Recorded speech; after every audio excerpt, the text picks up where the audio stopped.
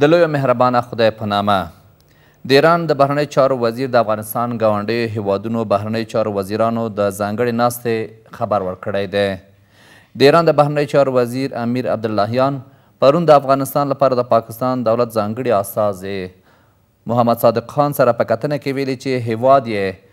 د افغانستان ګاونډیو هیوادونو بهرنیو چارو وزیرانو د فوق العاده ناستې کوربه توب کوي ترڅو افغانستان ته د افغانانو د بیرته ورګرځیدو لپاره حل لاره ومومي د ایران بهرنیو چارو وزارت ویب سایټ د دې خبر له خپرولو سره ویلي چې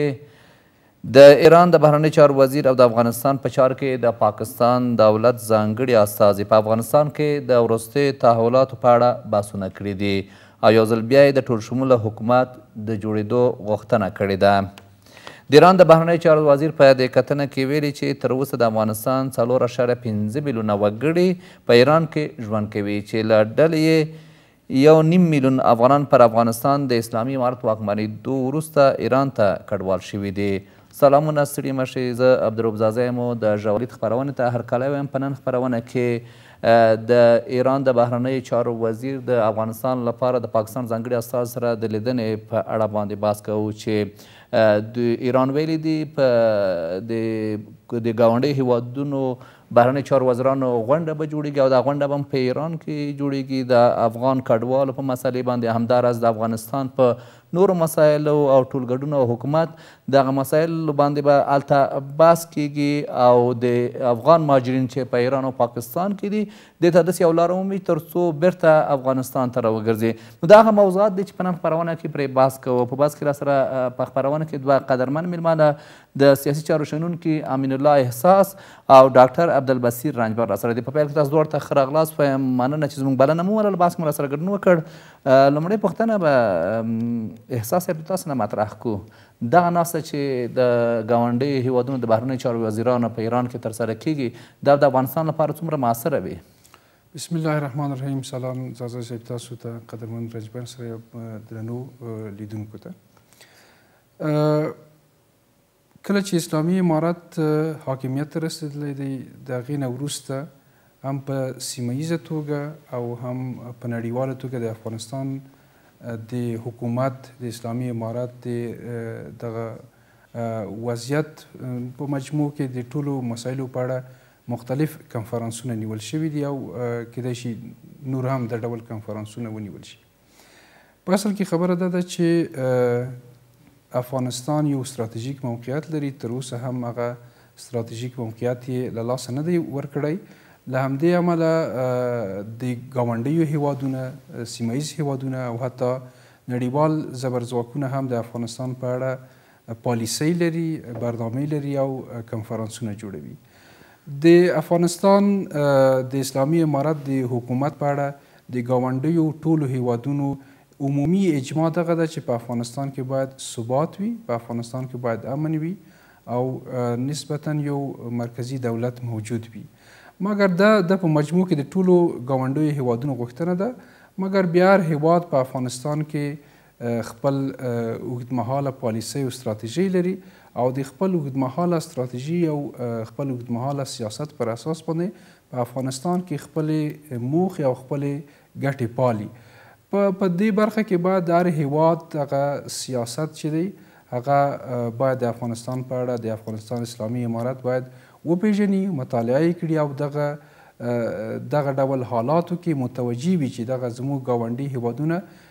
د افغانستان په اړه چې کله خبره کوي، کله یوه تبصره لري یا کله سیاسي نظر لري، اسلامي امارت یې دغو خبرو ته باید متوجه وي. په داسې حال کې چې د دوی خپل دغه هیوادو کې لوی لوی مشکلات شته دي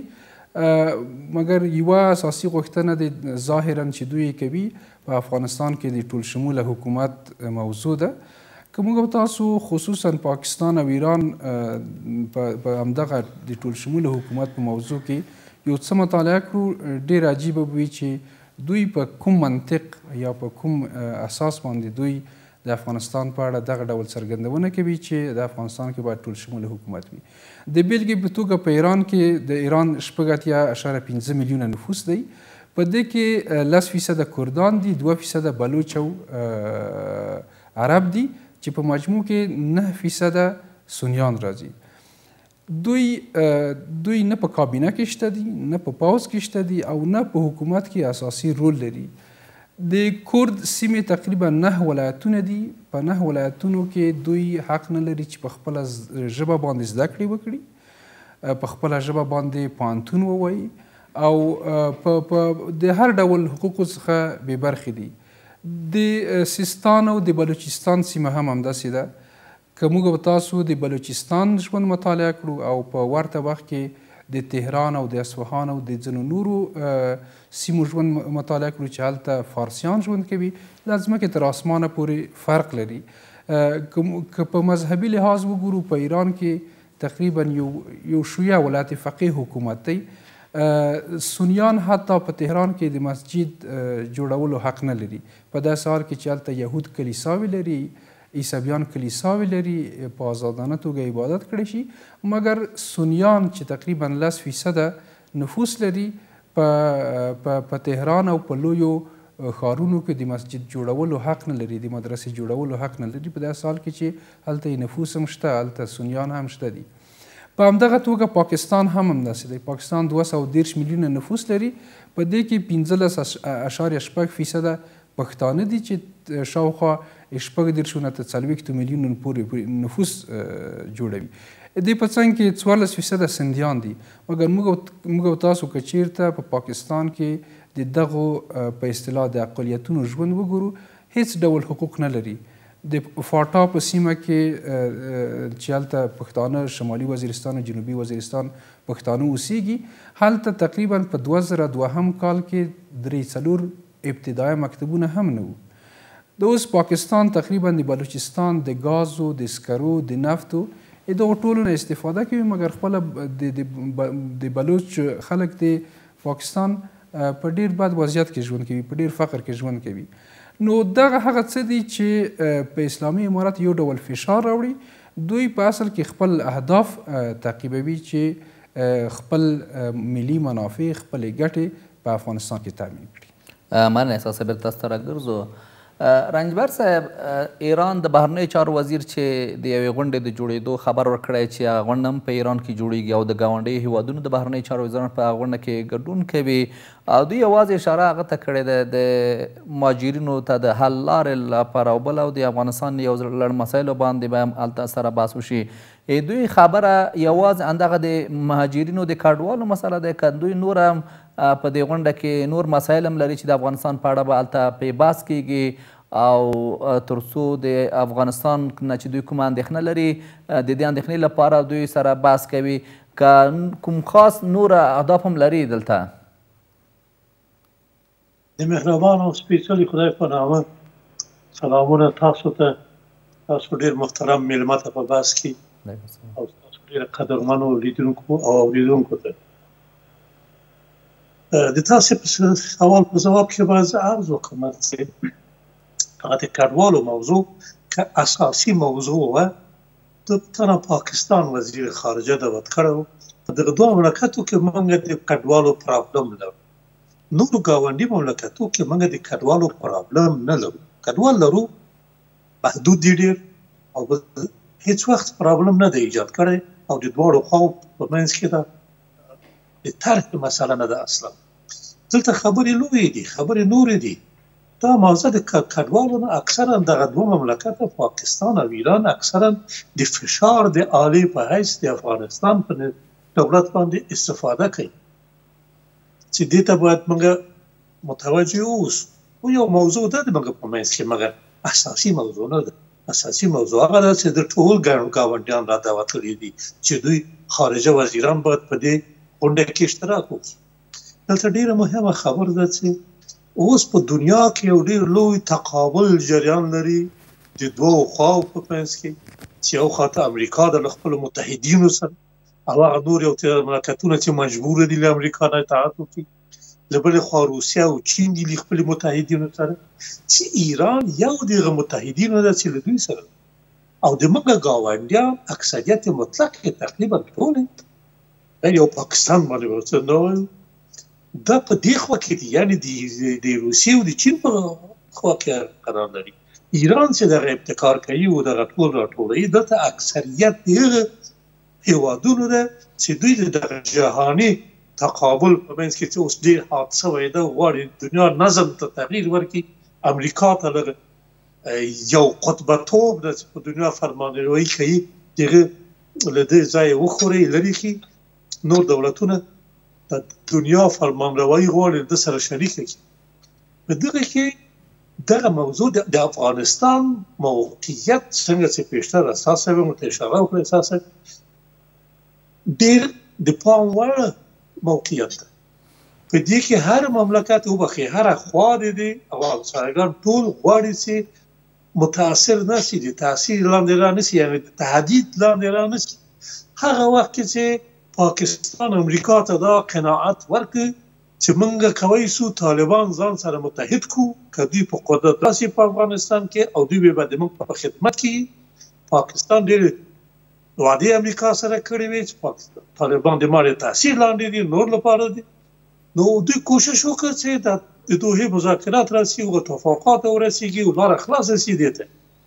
مګر دوی تاسو ته وليدل چه په دي کي اشتباه کړي وه طالبان د دوی د يرغل لاندي د کامل دیکتی لاندې حرکت ونه کړ دوی به طرفي اعلان کړ دوی دوه ټول خواو سره خپل ښه مناسبات اعلان کړ خپل مملکت وي د موږ سیاست اقتصاد محور ده د هر چا سره چې موږ اقتصادي ښه روابط وسو کوي موږ غسر دوستي لرو سره موږ نږدې وړم کوو په دې کې هغه و چې په پاکستان کې هم د امریکا فشار راغی عمران خان چې دا وادي کړی وی هغه یې سکه بل څوک راوړو خو دا قصې اوږدې دي دلته اوس امریکا هم تلاش کوي خپل پښې ځای ولري دا بل خو هم کوشش کوي دا زه تاسو ته وایم دغه خواهشات چې بین المللي چې په افغانستان دي دغه دي د ټول شموله حکومت جوړول چې استاد ایران ملاتړ دی د تروریستانو د نه تهدید له افغانستان نه نور مملکتونو ته او دا حقوق د بشر چې دي په هغه کې د ښځو حقوق هم شامل دي دغه درې خواستونو ته دغه مملکتونه په بیل بیل نظرونو ګوري له بیل بیل زاویو نو د سره برخورد کوي مثلا د موږ همسایګانو ته ډیر مهم دا ده چې له دې ځایه تروریستي تهدید دوی ته موجود دی دوی په ټولو بیانیو کې وایي په خپل هر غږ خپل د تشویش ښکاره کوي، متاسفانه د مونږ خوا د هغه تشویش تور ته نه ده رفع کړی، دا همیشه موجود ده، دوی ته دغه تشویش موجود ده. امریکا ته دغه تشویش موجود نه ده، هغه خو وایي چې ترهګرو هغه ونه لري، یو القاعده خپل دښمن پیژني او د هغه په مقابل کې باز هغه کوي، نور که تاسې قرارداد د دوحې وګورئ هلته همیشه موجود و چې تروریستي تهدید د امریکا او د هغه د متحدینو په مقابل کې څو وارې تکرار شوی دی هیڅ نه دی ویلي د همسایګانو په مقابل کې هیڅ نه دی ویلي د نورو مقابل کې هغه دغه په نفع ده چې دلته تروریستان موجود دي او همسایګان نارامه کړي روسیه او چین نارامه کړي ایران او مرکزی آسیا نارامه کړي چې دا د امریکا سره ښه مناسبت نه لري امریکا فشار په دې رسي او ټول شموله حکومت اوس دلته راسي چې دغه نمایندګان هم پکې هغه کسان چې دی غواړي چې په دې مملکت کې اوسي کوي د هغه سیاست تطبیق مګر دا نور هغه ته ونه اهمیت نه ورکوي دا وایي په خپلو خبرو کې ایران وایي پاکستان وایي نور وایي مګر د هغوی اصلي هدف دغه تیوریسي تهدیدات دی چې دوی د هغه فشار لاندې را نیسي چې بیا دوی وضع خرابوي چې له هغې خوا له دوی په اوکراین کې او په نور ځایو کې په جنګونو کې مصروف وي او دې خوا له دوی په مقابل کې تیوریسي حرکات شروع شي او په خپله داخل د خاورو کې اقصا مرکزي اسیا او دغو کې د دغه ځالې موجود دي د قوتونو چې د په مقابل کې هلته عمل وکړي دلته ډېره مهمه خبره دا ده چې موږ څنګه سیاست لوبو په دې هغه کې موږ باید هغه چې یو بل د احساس د خبرو په ارتباط باندې یو د ټولو حکومتونو څنګه چې دوی ویلي ټول شموله نه دي په کې ډېر نواقص موجود دي مګر یو خبر ست چې دې ته باید موږ همیشه متوجه اوسو په هغه مملکتونو کې چې انتخابات موجود اکثریت د نفوس حکومت تعین کی په هغه کې بیا دا خبره ډیر نه مطرح کیږي چې څوک مقرر کړي څوک نه لري سنی راوسه کې شوی راوسه د کوم قام راوسه کې نه دا راوسه وخت چې انتخابات مطرح زیات دغه خبر په هغه مملکتونو کې مطرح ده چې خلکو نه دي تعین کړي رائے نه ده ورکړي دوی راغلي او رقم د حکومت نیولې ده یا په زور یا په رضا په هر رقم سوي هغه څه د موضوع مطرح کیږي چې دې ته باید موږ توجه ولرو چې بیا خبرې راتې تلل شي بل دور خواته لاړ نسم دغه جلسه چې ایران جوړي په دې کې دغه ټول مملکتونه راغواړي دلته کوشش کوي چې دغه مناسبات د دوی منځ کې او د افغانستان سره مناسبات د دوی دغه څه تضمین شي چې افغانستان د دوی له لاسه لاړ نشي یو دا یعنی دغه روابط سره ولري د تعامل سره ولري او دویم دا چې په افغانستان کې آخري کوشش وسی چې ځای د توریستانو بیا ایجاد نسی رشتونه کې قوت پیدا نکی اوس ملل متحد هم وایي حتی د پکې شمالي همسایګان هم وایي چې دلته کرا کرا توریستان رشد کوي داعش قوت اخلي د آخري بعض فعالیتونه چې دوی کړي دي د روسیې په سفارت څخه حمله وسوه دغه نور انفجارات چې کیږي د دوی دا تشویشونه ډېروي دغه له خاطره به د دغه همسایګانو ټولېدو د نورو مملکتونو توغلو ته چې همیشه له دغه زاویې نه وګورو چې دوی ته افغانستان اهمیت لري ډېر له هر لحاظه امریکا هم اوس افغانستان په تعامل کې ساتلی د کومکونه کوي پیسې نقدې لیږي نور هغه کوي چې د افغانستان بیخي اقتصادي لحاظه غرق نسی سقوط ونه کړي مګر هغه چې لازم کومکونه نه کوي د موږ هغه سرمایې چې کنګل کړي دي نه خوشې کوي هغه تحریمات چې راوستي دي هغه له دغه ټولو نه دی غواړي چې د فشار د آلې په استفاده وکړي د دغه دولت په ضد په ضد باندې نو زه بیا ډېر خبرو اوږده نه سي خپل هغه تکرار کوم موږ باید دغه هغه ته خوشبینه واوسو او چې د ونه ډار سو په دې کې چې دا به څه هغه موږ سره وکړي موږ باید خپل موقف هغه څه لازمه ده ولرو موږ کوشش وکړو چې همسایګانو ته په هر رقم چې کېږي دغه اطمینان ورکړو چې د موږ له خاورې نه دوی ته هیڅ وخت هیڅ تهدید هیڅ تروریستي تهدید ته نه متوجه کېږي موږ تر اوسه پورې په شعار کې دا خبره کړې ده همیشه هم تکرار کړې ده مګر عملي هیڅ کار نه دوی ته نه ده ښودلې چې دغه کسان دغه د اسلامي نهضتونو طرفداران چې په دوی په مملکتو کې وو لکه چې وتښتېدل او دوی هغوی د تروریستانو په نوم یادوي چې دغه تروریستان دي او د موږ امنیت تهدیدوي چې دا د موږ په خاورې کې دا څه سو دغه امتحان موږ ډېر نه دغه کړی چې دوی ستا د موږ مېلمانه دي هیڅ وخت دا کار نه کوي یا څنګه دغسې اطمینان هغوی ته ورکړي یا دوی په منځ کې منځګړتوب وکړي هر شی چې یو لار ورته کېږي یو یو عملي اقدام باید په دې کې وشي او هغه ځای کې چې دوی وایي دلته دغه نه داعش موجود دی یا دغه نه ځاله کوریستان موجود یا حتی تاجکستان رئیس جمهور ویلي اوس دلته کمپونه د تربیې د تورستان موجود دي دا په عمل کې وښودل سي تاسو راسي دغه کمپ راوخی چې چیرته چې موږ یې څه کولري کوو دغه عملی اقدامات ضرور دي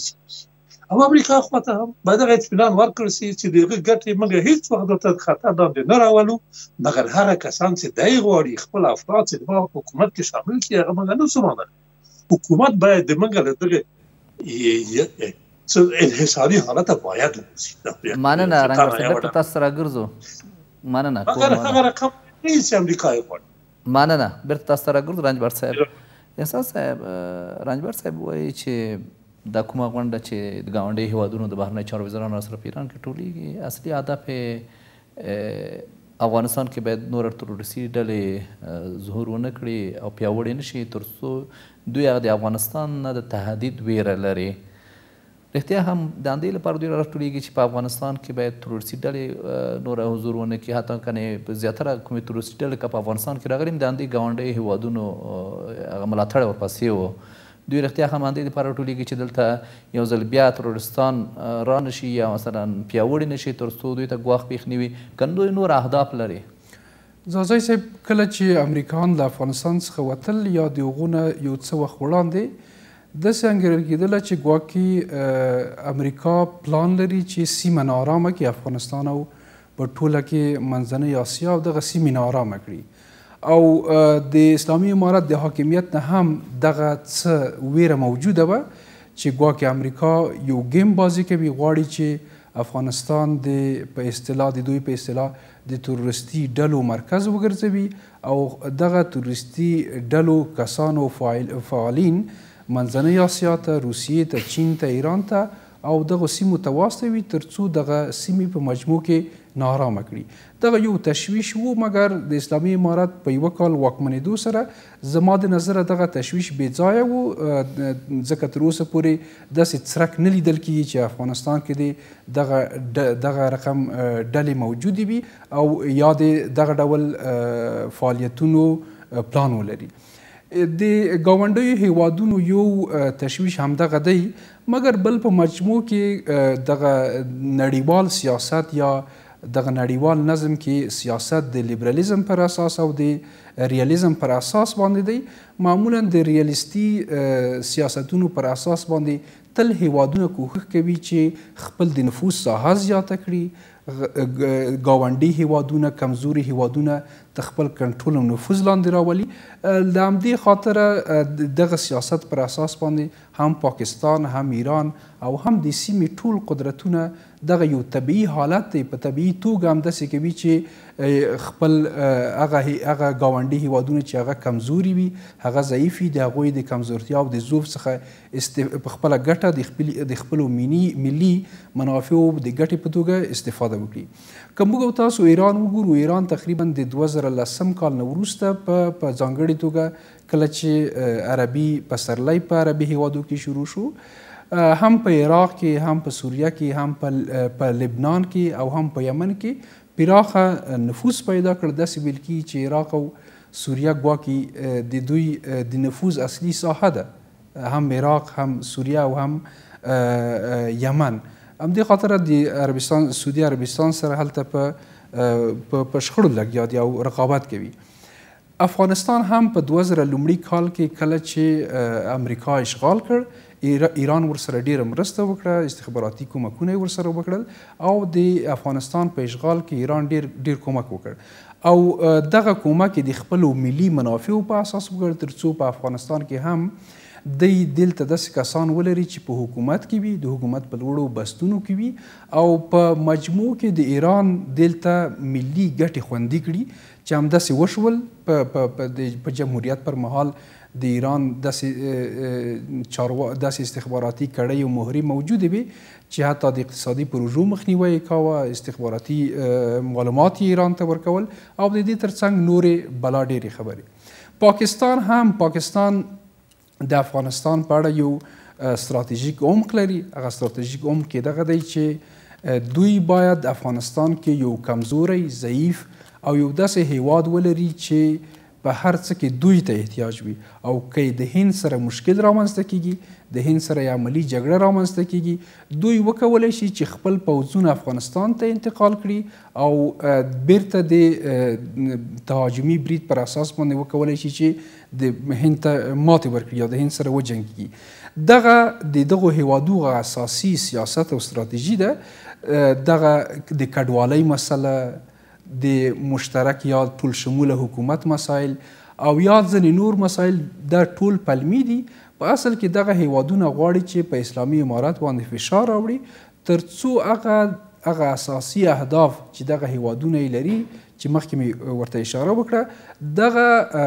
اهداف اسلامي امارت ورته ژمن وي یا حد اقل اسلامي امارت مجبور کړي چې د دغه دواړو هېوادونو د اهدافو د تأمین یا د جوړجاړي لپاره په میز ورسره کینی او څه واخله څه به درکړم دغه سیاست پر اساس باندې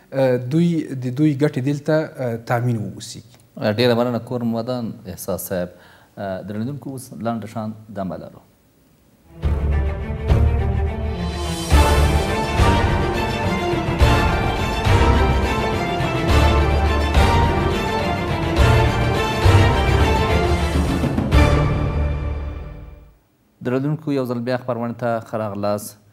رنجبر صاحب تاسو مخکې په خبرو کې وویلې چې دا کومه غونډه چې دوی رابولي د ګاونډیو هیوادونو بهرنی چارو وزیران په دې غونډه کې ګډون کوي دوی سره دا ویره ده چې دلته تروریستان په دې خاوره کې پیاوړي نشي ترڅو دوی ته په راتلونکي کې ګواښ نه وي دوی چې دغه ویره د افغانستان نه دا ګاونډي هیوادونه لري، بیا دا ګاونډي هیوادونه ولې په ریښتیني توګه له افغانستان سره همکاري نه کوي؟ اوس نسبي یو امنیت په افغانستان کې تامین شوی دی، په څلور دېرش ولایتونو کې امنیت تامین دی او سوله دلته راغلې ده او د دې سولې ساتل د ثبات ساتلو لپاره که چیرته افغانستان نامنه وي، خو د سیمې هیوادونه حتماً ورسره ناامنه کیږي، تاثیرات پرې غورځیږي چې دوی دغه ویره د افغانستان نه لري، بیا ولې په رښتینې توګه همکاري نه کوي؟ ولې بیا همدغه اسلامي امارت سره تعامل نه کوي؟ ولې په رسمیت یې نه پیژني؟ که چېرته دوی په رسمیت همدغه د سیمې هیوادونه وپیژني، امکان لري چې بیا د نړۍ هم بعضې هیوادونه افغانستان په رسمیت وپیژني، اسلامي هیوادونه په رسمیت وپیژني او که دا حکومت په رسمیت وپیژندل شي او د نړیواله همکاري ورسره وي، نو بیا کولای شي چې د تروریستانو مخه هم ونیسي او او سیمې ته ډاډ هم ورکړي چې یو پرته د اقتصادي اړیکو نه او د اقتصادي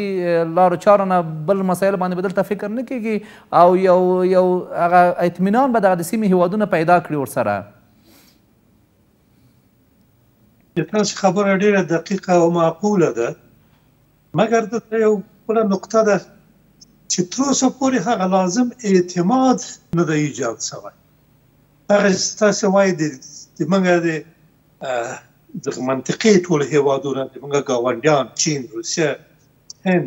دا ټول د علاقه من دي چې له مختلفو زوایاو نه د دوی په ګټه ده د دوی په د منافع سره اړخ لګوي چې دوی افغانستان سره ډېر ښه روابط ولري په رسمیت یې وپېژني دلته راسي سرمایه ګزاري وکړي د موږ له منابعو نه استفاده وکړي له موږ له موقعیت استفاده وکړي او ټولو مسایلو تر اوسه پورې منډه ونه شو کوی هغه لازم اعتماد منځته راوړو دوی ډېر ډارېږي چې پسته به اوس ټول په خبرو کې ده پسته به دغه سیاست دلته تغییر وکړي یا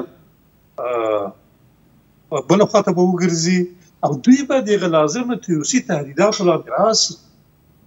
تر اعتماد دوی ته ورکول ډېر مهمه خبره ده ما تاسو ته ویلي دا په خبرو نه کیږي چې موږ دغه ووایو چې دا کار موږ نه کوو دولت د طالبانو یو نوی دولت ده، په هغه وخت کې چې دی په قدرت وو یو څو کاله، په هغه وخت کې هم د غلو څخه به یې ټولو دنیا سره سم روابط ایجاد شي، منزوي پاتې سو، دوه دې اسلامي مملکتونو هغه په خولې باندې په حرف باندې دوی په رسمیت پېژندلي وو، په عمل کې دوی بیخي یوازې پاتې سول. ونو څوک خوای دغه اوس هم دغه خو ته زیدل وکړ امریکا خو په اعتماد نه کوي د دې لپاره توقعات یې درلودل څنګه چې دا محترم میلمه په خپل خبرو کې ویلي غوی غوښتل سلته یو مرکز د تورستانو جوړ سي دلته یو مرکز د نارامي د ټولو همسایګانو جوړ سي او دا د امریکا په ګټه وډي هغه کار ونه سو هغه په دې کې مایوسه شوی دی مګر نورې لارې لټوي فشارونه خپل راوړي البته داسې فشار راوړي چې بیخي د مملکت لاسه ورنشي هم کومک کوي هم هغه یو اصطلاح ده هم یو لاس کې ګوړه ده په یو لاس کې لکړه ده یو تطمیع کوي له بلې خوا نه تهدید کوي دغسې موږ د همسایهګانو ته سم اطمینان ورکړل شوي چې دوی هغه باور ایجاد شي دوی به د نورو ملکونو خبرو پسې نه ګرځي دغه مسله د ټول شموله حکومت او د بشري حقوقو چې دا موږ ته اهمیت لري، موږ خپل داخل مملکت کې د مشروعیت ته د دوی اهمیت ډېر لري او هغوی ته اوله درجه هغه ده نه تهدید د دې خاورې نه د تروریسي، دویمه درجه حقوق بشر ده، ښځو ته حقوق، نورو لږکیو ته حقوق تامینول دومره سهل، درېیمه درجه راځي بیا دا موضوع د ټول شموله حکومت یا پراخ حکومت مګر امریکا ته سرچپه ده امریکا هم تاسو دوه قانون هغه توافق نامه وګورئ هلته په حقوق د بشر په دغه لاسته راوړنو د شل کال چې وي په دغه ازادیګانو باندې یو کلمه نشته یو کلمه دغه له خاطر هغه دې ته اهمیت نه ورکوي هغه ته ډیر مهم کار دی چې دا مملکت دغه د تاثیر لاندې دغه د نفوذ لاندې هغه اوس یې کوي خپل پلانونه درته عملي کړي په هر رقم چې کېږي ډیر مستبد مملکتونه دي چی هیڅ حقوق بشر پکې نه مراعتیږي مګر چون امریکا سره یې روابط ډیر ښه دي هغه هغه هیڅ په دغه ډله کې نه ده چې د امریکا د تحریم لاندې راولي یا فشار پرې راوړي چې ولې حقوق بشر نه تامینوي هغه څه نه دي دوی خپل منافع ورته اوله درجه اهمیت لري نو تاسو د سوال په مقابل کې چې ولې همسایهګان دا نه کوي یوه نقطه وجود لري چې هغه عدم د اعتماد ده دغه اعتماد راوړل دغه کوشش په کار لري عملي اقدامات په کار لري موږ که دغه کار اوس وکړو تاسو به وګورئ موږ ته اوس ډیر مهم دغه نظام ته چې اوس موجود ده دا ده چې افغانستان له دغه اقتصادي بحران نه له دغه ولږې نه له دغه دربدري نه نجات ورکړي دې ته موږ بې خارجي کومکه نجات نسو ورکولی موږ منابع د دې کفایت نه کوي چې موږ اوس کوی د هغه په اتکا باندې دغه ټول خپل پرابلمونه حل او نور دنیا غواړي چې دغه کومک وکړي دا کومک دی هغوی په ګټه ده چې دلته سرمایه ګذاري وکړي د موږ له منابعو نه استفاده وکړي د هغوی په ګټه ده چې د موږ روابطو له لحاظه د افغانستان له دغه موقعیت نه استفاده وکړي خپل منطقوي پلانونه اوسې کوی عملی کې پدې کې دا ټول هغه دي مګر هغوی فقط دغه ډام سره وجود لري دغه ډاري رفع کې دا کار حل کیږي او موږ او تاسو ډیر ژر کوی شو او دغه نظام ته ډیر مفید ده چې د افغانستان خلکو نست موړ کی ټول به سره ولاړی دا اوس لولګې نه خلک داعش ته رمزي لولګې نه خلک فرار هم کوي دې مملکت لولګې نه خلک د نظام مخالف هم کی دا ډیر مهمه خبره اقتصاد همیشه سرنوشت مملکتونو تعینوي تاسو هم اقتصاد جوړ کړئ په هغه کې تاسو سره ټول هغه مسایل چې یقینا چې ډیر هغه د موږ د ملي او د مذهبي ارزښتونو مخالف نه وي هغه تاسو سره باندې ټول بیا زه په دې باندې تکرار کوم چې امریکا که څه شی په دې مملکت کې لاس ته را نه وړل وي نو څه کوي چې هغه شی دې غوړ را سره هغه بدل ته ډیر سخت کوششونو دی وضع د خرابولو لپاره د مخالفینو مسلح مخالفینو دولت سره به کومک شروع کی یوه حمایه به شروع کی داعش سره به کومک شروع کی نور تروریستان به راوارد کی د مملکت ته دغه خواړه سرمایه به په اختیار کې ورکی چې دغه مملکت هم د موږ وران مملکت هم نور وران کی او دغه همسایګانو ته ډیر لوی پرابلمونه ایجاد کی باید لا په امید کې دی دی چې دی کوي چې په یو تعامل کې دی بس رهبری سره راسي چې خپل پلانونه عملي د منګه هوښیاري لازم ده چې امریکا داسې هغه حالت کې وساتو اطمینان ورکو چې د هغه منافع موږ په وړاندې نه کوو مګر د هغه په حکم د بل چا منافع نور نسو رانوړی دی د دوستي موږ سره وکړي که دلته راځي سرمایه ګذاري کوي که دلته غواړي چې موږ سره اقتصادي پلانونه مشترک جوړ کړي موږ سل فیصد له سره موافق یاستو موږ هیڅ مخالفت دښمني د امریکا سره نه لرو مګر که هغه وغواړي چې موږ د همسایګانو مقابله کې استفاده وکړي له موږ هغه بیا موږ ته موږ نو څه کوي په دغه جماعت کې موږ ژوند کوو دا موږ ګناه نه ده چې موږ شاوخوا ټول د امریکا مخالف دي غیر بیا وایم غیر پاکستان چې هغه همیشه هم په نال وهي هم په میخه اخو منډي وي هم اخو منډي وي نور مملکتونه د موږ شاوخوا چې دي او بدی دا ده یا خطوب دا ده چې هغه قوي ترین مملکتونه چې د امریکا حریفان دي دلته چین دلته ده، روسیه دلته ده، هند دلته ده او دا درې واړه غواړي چې آینده زبرځواکه شي. دا درې واړه غواړي چې په اقتصاد کې او په نورو مسایلو کې دونه رشد وکړي چې له امریکا نه مخکې شي. د امریکا د تکروي په اصطلاح سره دا په یوه ځلي ځان باندې منډې وهلې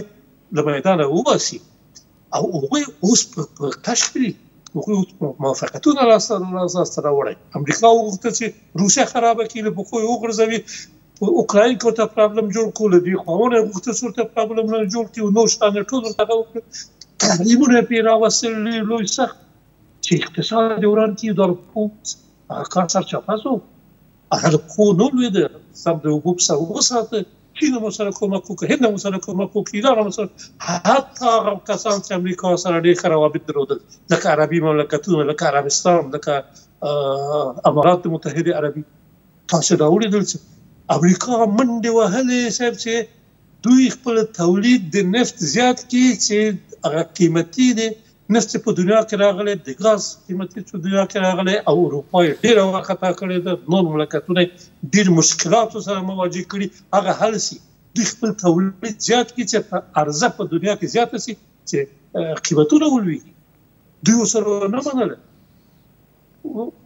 نمایندګان یې ولېږل نور یې ولېږل ټلیفونونه یې وکړه خپله جو بایډن لاړ عربستان یې سعودي ته هغوی ورسره ونه منل اوس چې دوی فیصله وکړه د دوی هغه جلسه د اوپیک پلس چې اوس وه چې په هغه کې دیارلس مملکته د اوپیک دي چې تیل تولیدوي او یولس مملکته نور چې د پلس په نامه ورسره دي چې تیل تولیدوي څلېرویشت مملکتو فیصله وکړه چې دوه میلیونه بشکې نفت به په ورځ کې کموي برخلاف د خاص امریکا هغه قیمت چې اوس ټیټ راغی د نفتو بیرته دلته د موږ مطلب دا دی چې اوس امریکا ډېر وارخطا ده په هغه اقدام کې چې د نورو مخالفینو د منځه وړلو لپاره کړی اوس خپله د ده متحدین په ډېر مشکل مواجه دي تاسې د پرونۍ مظاهرې په فرانسې کې ولیدل ډېرې بې سابقې مظاهرې دي چې دوی د دولت په ضد راپاڅېدلي دي چې نور د دغه قیمتي توب دغه انفلیشن چې ورته وایي یو پړسوب د اقتصاد د دې طاقت نور روښانه نشي کوي هر ورځ قیمتونه جګزي خوراکي مواد او په انرژي په منابع باندې چې تیل چې غاز چې برق په دوه باندې قیمتونه هر ورځ جګزي او خلک تحمل ناپذیره ده او دا د دې لپاره ده چې دوی تحریمات په روسیې وضع کړی دي روسیې په تیل کم کړی دي غاز په قید کړی ده هغه ډیر نور مواد ذکر خو د کیمیاویو لکه د غوړیو د نباتي غوړیو نور شیان چې دوی پې ولاړو هغه ټول پې قطع سوي دي دوی ورته ډېر خراب کړی دی مطلب مې دا ده جنګ ډېر لوی په دنیا کې روان ده منګه که سم حرکت ونه کړو منګه که د همسایګانو اعتماد لاسته را نه وړو او امریکا هم په دې مطمئن نه کړو چې منګه له دغه له منافعو سره راز نه لرو منګه به د هیچا په خدمت کې نه یو چې له هغه سره مواجه سو مونږ به دلته زوبل شو د دې دواړو خوا پښو لاندې به شو که لږ هغه فکر وکړي چې هغه خوا لاړم نو دی به مې زوبل کړي او که نه زه بیا وایم که امریکا ناکامه شوه هغه د دغه مسلحو مخالفینو د حکومت سره کومک کوي په خپل ټول قوت سره او ټولو تیوریستانو سره داعش په ګډون کومک کوي چې په افغانستان کې ګډوډي ایجاد کړي ډیره مننه ډیره مننه دغه جلسه کې ممکن د موږ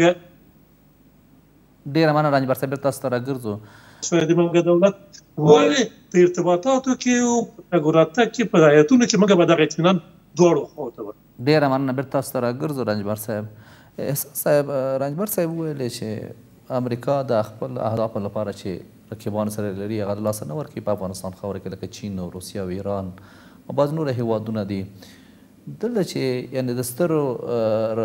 هېوادونو ترمنځ، سترو قدرتونو ترمنځ کوم رقابتونه چې دي، بیا افغانستان ولې پکې قرباني کېږي؟ ګټې به روسیه، چین، ایران او امریکا ترلاسه کوي او قرباني همدغه بې وزله افغانستان دی چې ورکوي. ولې افغانستان د دوی ګټو قرباني شي؟ ښه، ځاځی صاحب، د دوهمې نړیوالې جګړې وروسته معمولا زبرځواکو هېوادونو پالیسي دغه شوله چې نه غواړي مستقیما په یوه میدان کې سره وجنګیږي ځکه ټول زبرځواک یا د نړۍ لومړی درجه قدرت لرونکي هیوادونه اټومي وسلې درلودې که دوی مستقیما یو د بل سره په د جګړې میدان ته راووځي نو یو بشري ناورین رامنځته کیږي او تباهي یې ډیره ده نو دوی کوشش وکړ یا بسته دغه نړیواله سیاسي فضا داسې شوله چې دوی نیابتي جګړې مخته یوسي د همدې خاطره کله چې روسانو پر افغانستان برید وکړ امریکایانو د روسانو د مخالفینو یا د مجاهدینو پراخ ملاتړ ورکړ په په په په سلګونه میلیونه ډالر یې ورکړل، وسلې او تجهیزات یې ورکړل تر څو روسیې دلته شکست وخوړ. همداسې په ویتنام کې، همداسې د نړۍ په نورو هېوادونو کې دوی کوشش وکړ چې دغه نیابتي جګړه یا پراکسي وار مخته یوسي او په دې سره خپل رقیب ته ماتې ورکړي. د همدغه پراکسي وار یا نیابتي جګړې پر مټ باندې امریکان و امریکایان وتوانېدل چې روسیې یا شوروي اتحاد ته ماتې ورکړي او په منځوي یې کړي نو دغه د نړیوال سیاست فضا هم داسې ده یا یې اصول هم داسې دي چې دوی په هغه هیوادونو کې چې هغوی مستقل نه وي هغوی پیاوړي نه وي هغوی په خپل پښو باندې ولاړ نه وي هغوی یو سیاسي تشه هلته موجوده وي دوی له دغه سیاسي تشې څخه استفاده کوي غواړي چې خپل رقیب یا خپل مقابل طرف ته ماتې ورکړي افغانستان هم له بده مرغه همداسې یو هیواد دی چې تقریبا دغه د د امیر شیر علي خان څخه وروسته د سیمه ییزو قدرتونو د رقابت او د سیالۍ مرکز اوښتی دی تر ننه پورې هم دغه موضوع ده په 2021 کال یو د عطف نقطه ده او هغه دغه دی چې د لومړي ځل لپاره امریکا د نړیوال نظم کې چې لومړنی هژموني یا زبرځواک دی د دغې زبرځواکۍ څخه لویږي او هغه پیل یې د افغانستان څخه د خپلو عسکرو یا سرتیرو ایستل دي موږ ګورو کله چې له افغانستان څخه دوی وځي دغه د امریکا وضعیت نړیوال زبرځواک هیوادونه خصوصا روسیه چین هند او د سیمې نور قدرتونه دغه درک کوي او له دغه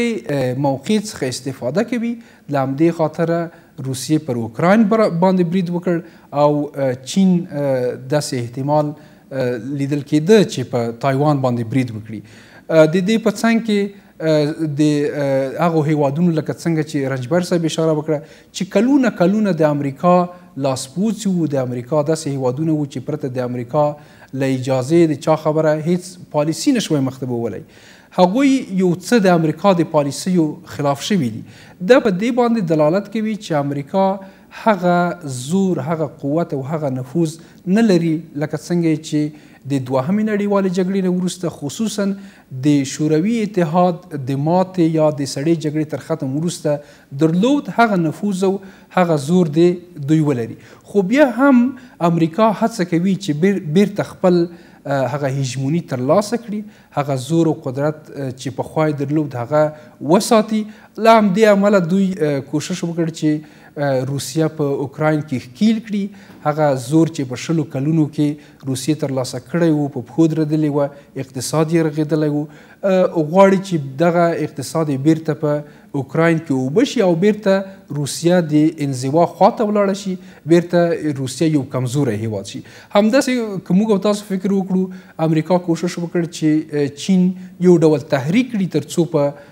تایوان باندې په په تایوا په تایوان باندې برید وکړي مګر چین دغه وضعیت درک کړی و چې زه هلته ښکیل کیږم او دا وضعیت مې خرابېږي نو ځکه کوشش یې ونه کړ چې برید وکړي نو د د د نړۍ د نقشې هغه کمزوري هیوادونه چې هغلته سیاسي خلا موجوده وي د نړۍ زبرځواک هیوادونه کوښښ کوي چې هغه د خپلې ګټې د خپلو ملي منافعو په د تامین لپاره استفاده کړي نو ځکه افغانستان هم یو همداسې هیواد دی غواړي امریکا که موږ تاسو فکر یو څه متوجه شو د امریکا ولسمشر یو څه وخت وړاندې وویل چې موږ به منځنۍ آسیا، منځنۍ ختیځ او افغانستان به داسې پرې نه ږدو چې زموږ رقیبان چې هغه روسیه، چین او ایران دي له دغې فضا یا له دغې تشې څخه استفاده وکړي او د خپلو ملي منافعو په توګه استفاده کړي نو افغانستان یو ستراتیژیک موقعیت لري یو داسې موقعیت دی که چیرته د خپل استفاده وکړه خپل د دغه ستراتیژیک موقعیت څښتنانو واکمنانو مسؤلینو د خپل ګټې د خپل مصالحو د خپل باورونو د پاره استفاده وکړه خو یو پیاوړی یو ځواکمن او په خپل پښو باندې ولاړ هیواد بوي مګر همدغه ستراتیژیک موقعیت که بل ټول هېوادونه غواړي چې دغه ستراتیژیک موقعیت ترلاسه کړي نو کله چې هغوی دغه ستراتیژیک موقعیت ترلاسه کوي هغوی د خپلو ملي ګټو د خپلو ملي منافعو او هغه نړیوال ګیم چې دوی په لار باندې اچولی وي د هغو دپاره استفاده کوي نو امریکا غواړي چې افغانستان له لاسه ورنکړي له همدې خاطره دوی کمکونه کوي. امریکا واضح وویل چې تقریبا موږ له یوه میلیارد ډالرو څخه زیات مرسته وکړه تر هغه وخت چې افغانستان ته اسلامي امارت راغلی واکمن شوی دی په داسې حال کې چې د چین او د روسیې هغه مرسته بشري کمکونه ډیر کم و حتی په نشت باندې حسابیږي نو دوی غواړي چې اسلامي امارت یو ډول معاملې ته یو ډول په اصطلاح انګیجمنټ ته دعوت کړي ترڅو په افغانستان کې د امریکا هغه منافع تامین شي او دغه د افغانستان د ستراتیژیک موقعیت څخه چین او روسیه استفاده ونه کړي ډیره مننه احساس صاحب رنجبر صاحب که بس را سره ټول کو حل لارې ته راشو ستاسو په نظر باندې حل لاره په څه کې ده چې یو ځل بیا د تیر په څیر باندې د ستر قدرتونو افغانستان قرباني نشي افغانستان باید داسې یو سیاست وربوي که د سیمې هیوادونو سره او غرب سره هغه په سیاست کې هغه توازن تعادل په نظر کې ونیسي یو خواته مثلا لاړ نشي چې بالاخره بیا هیوادونه چې دلته نه غواړي دلته ثبات اوسېږي نه او دلته یو پیاوړی حکومت اوسېږي خپل مداخلې شروع کړي د دې نه باید پاک اوسېږي او حل لاره تاسو په څه کې وینئ چې بیرته بیا د ستر قدرتونه چې اوس کوشش کوي که روسیه ده که چین ده که امریکا ده یو نه نه یو نه افغانستان سره باید خپل اړیکې وپالي او دلته د خپل د موه لپاره او خپل ګټو لپاره دلته ځان داخل وساتي د دې ساتلو لپاره څه پکار دی او حل لاره په څه کې وینئ تاسو هغه په خپل خبرو کې دې ته اشاره هم وکړه زه بیا هم په دې عقیدې یم او ډېر هغه کسان چې دلته علاقه لري سیاست سره او پیږي چې کومه لار د نجات ده یا کوشش کوي چې لار دې پیدا کړي دغه سیاست د بې طرفي او توازن د دواړو منځ کې دا باید منګه ټینګ ونیسو، هیڅ وخت دا لاسه ورنکړو، هیڅ خوا ته دا انتباه ورنکړو چې منګه به د هغه د منافع په ضد د بل چا د لاسه اړه شو. دا کار باید نه وي. ولو امریکا یې، ولو روسیه یې یا نور مملکتونه یې هر څوک چې وي. امریکا باید دا چشمه پیدا کړي چې روسیه د هغه په مقابل کې له منه استفاده نشي کولای. چین د هغه په مقابل کې له منه استفاده نشي کولای. او دا مملکت څونه به دا اعتبار پیدا کړي چې امریکا نیسي په دې دواړو په هغه کې موږ باید د دوی غوښتنې که معقوله دي ومنو د هر یو که معقوله نه دي باید وین نه منو موږ ته د امریکا د غوښتنه چې دی غواړي خپل افراد په دغه حکومت کې شامل کړي نامعقوله موږ هغه کسان چې خپل امتحان یې ورکړی دی یا ده سره وابسته خلک دي یا امریکا یا هر بل مملکت چې د هغوی راوستل په حکومت کې په دولت کې دا د موږ د خلکو د منافعو سره مخالف دي موږ دا کار نسو منلی موږ د داخلي لحاظه د خپل شرایط لحاظه دا خواهش به له طالبان وکړو دا فشار باید پرې راوړو دا هر څه چې کېږي چې دغه انحصار باید دغه حکومت له منځه لاړ شي موږ حکومت باید تنه طالبان او ملا صاحبان نه دلته متخصصین پکار دي، دلته د پوه خلک پکار دي، دغه مملکت ته نجات ورکول پکار دي، د هغه لپاره د ټولو همکاري پکار ده، مګر د هغه متعهدو، د باتقواو، د پاکو، د وطن د وطنپالو خلکو هم هغه ته د هغه وبخښي چې دا کار باید مګر همسایګانو مګر څه ویلي هغه په دې حکومت کې څوک اهمیت نه ورکوي مګر د دې ځای تهدید نسی دغه موږ ته ډیر اهمیت لري موږ دوی سره ژوند لرو موږ که څلور لار یاستو د دوی څلور لار یاستو موږ دغه شمال خپل له جنوب سره شرق له غرب سره په منطقه کې وسلو د موږ منافع سره ګډې دي موږ به دوی ژوند نسو کوي او دوی ته موږ ډیر اهمیت لرو هم د منابعو لحاظه هم د موقعیت لحاظه ټول لحاظه دغه لپاره دوی ته باید دغه اطمینان ورکو په هر قیمت چې کېږي د دوی باور باید په دې راسي چې هیڅ وخت د موږ له خاورې نه دوی منافع نه نه تهدیدېږي ډېره مننه په ډېر کم وخت کې موږ په رسمیت وپېژني په ډېر کم وخت کې چین خو هلاک ناسته چې د په سلهاو میلیارد هغه لري چې چیرته سرمایه ګذاري کوي په ایران کې زموږ همسایه ده څلور سوه میلیارده په پنځه ویشت کالو کې سرمایه ګذاري کوي قرارداد ورسره کړی پاکستان کې هغه تر اوسه پورې اته شپېته میلیارده راغلي دي او نور هم پسې روان دي چې هلته سرمایه ګذاري وشي په مرکزي اسیا کې د لسونو میلیاردونو ته په سلګر باندې سرمایه ګذاري یو افغانستان پاتې ده په دغه مینس کې هغه غواړي د غلقه سره وتړي دغه ټول د خپل اقتصادي نفوذ لاندې راولي دغه د دې اقتصادي نفوذ موږ ته رخصت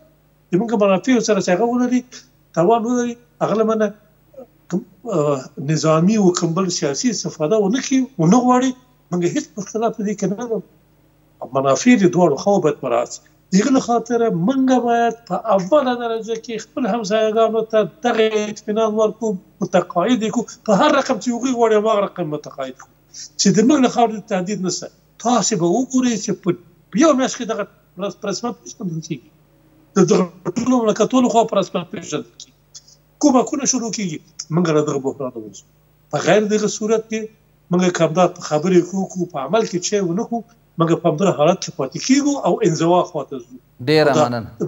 ځان له موږ لري کیږي ډیره مننه کورم ودان رنجبر صاحب احساس صاحب تاسو حل لاره په څه کې وینئ که په لنډه توګه ووایي وخت هم ډیر کم دی ځاځی صاحب دغه واقعیت داسې دی هر وخت چې ته په خپلو پښو ودرېدلې قوي شولې نو ګاونډي هیوادونه د سیمې قدرتونه تا د یو مهم هیواد په توګه پیژني د یو د یو ځواک په توګه دې پیژندي خبرو ته د اهمیت ورکوي او خبرې در سره کینی در سره اوري مګر که ضعیف وي دغه د دنیا سیاست هم داسې دی که کمزوری وي ضعیف وي خوري دې له منځه دې وړي او د خپلو ګټو دپاره دې استفاده کوي اسلامي امارت ته په کار ده چې د یوه پیاوړي حکومت د جوړولو لپاره اساسي ستراتیژیک کارونه وکړي تر څو یو پیاوړی او ځواکمن حکومت جوړ کړي کله چې وتوانیدل چې یو پیاوړی حکومت جوړ کړي نو په په ګاونډیو هیوادونو باندې خپلې خبرې منل شي او په ټوله کې اسلامي امارت ته په کار ده چې د اسلامي امت د اجنډا پر اساس باندې ګاونډیو هیوادونو ته قناعت ورکړي چې موږ تاسو مسلمان ورونه یو مسلمان د امت یو برخه یو موږ تاسو باید دغه نړیوال سیاست څخه استفاده وکړو دغه د د اسلام د مصالحو پر اساس باندې سیاست وکړو یو بل ته نږدې شو نه دا چې د خپل ملي منافعو پر اساس باندې یو بل کمزوری کړو یو بل لمنځه یوسو دغه د مال نظر حل لاره ده ډیره مننه کور مو ودان آباد اوسئ استاد صاحب چې زموږ بلنه مو بحث مو سره ګډون وکړ رنجبر صاحب له تاسو نه مننه چې موږ سره په بحث کې ګډون وکړ درنو لیدونکو له تاسو نه مننه تر بلې خبرونه چې بیا هم تاسو په درنه حضور کې حاضرېږو تاسو ټول په لوی بخون کې خدای سپارو